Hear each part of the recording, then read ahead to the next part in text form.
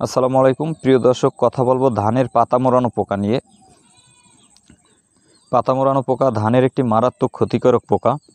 আমি এখন এসেছি গলাচিপা উপজেলার ডাকুয়া ইউনিয়নের একটি আমন ধান খেতে। এই ক্ষেতে পাতা মোড়ানো পোকার আক্রমণ আছে কি না সেটা দেখব। এখানে পাতা মোড়ানো পোকার আক্রমণ আছে এই ক্ষেতটায়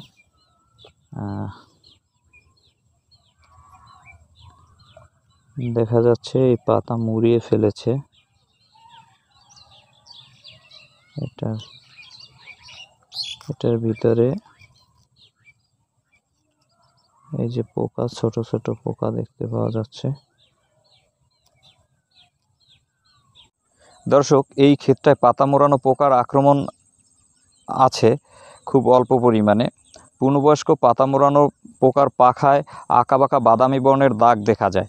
এই পোকা মূলত ধান গাছের তেমন কোনো ক্ষতি করে না, কিন্তু এই পোকা ধানের পাতার মধ্যশিরা বরাবর ডিম পারে এবং সেই ডিম ফুটে বাচ্চা বা কিরা বের হয়। কিরাগুলো ধানের পাতার বিভিন্ন অংশে ছড়িয়ে পড়ে, এমনকি অন্য গোছায়ও চলে যায়। এই কিরাগুলো ধানের পাতার সবুজ অংশ খেয়ে ফেলে।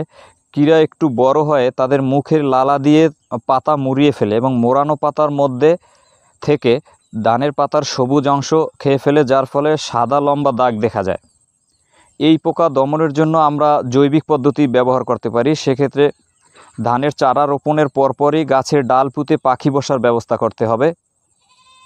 এছাড়া ক্ষেত পরিষ্কার পরিচ্ছন্ন রাখতে হবে, বিশেষ করে আগাছা মুক্ত রাখতে হবে। আর ছায়াযুক্ত স্থানে এই প্রকার আক্রমণ বেশি দেখা যায়। তাই পর্যাপ্ত আলো বাতাস পরে এমন ব্যবস্থা করতে হবে। বিশেষ করে গাছের ডাল থাকলে ধানের ক্ষেতের পাশে সেগুলো ছেটে দিতে হবে। আর শতকরা পঁচিশ ভাগের বেশি যদি এই পোকার আক্রমণ দেখা দেয়, তাহলে রাসায়নিক পদ্ধতিতে দমন করতে হবে। সেই ক্ষেত্রে কার্টাপ গ্রুপের Cartap, Suntap, Agritap, care Bravo অথবা বেল্ট এক্সপার্ট এই যে কোনো একটি কীটনাশক অনুমোদিত মাত্রায় স্প্রে করলে এই পোকা দমন হবে। এছাড়া কৃষি বিষয়ক যে কোনো সমস্যার জন্য সংশ্লিষ্ট উপসহকারী কৃষি অফিসার অথবা উপজেলা কৃষি অফিসে যোগাযোগ করুন। ধন্যবাদ।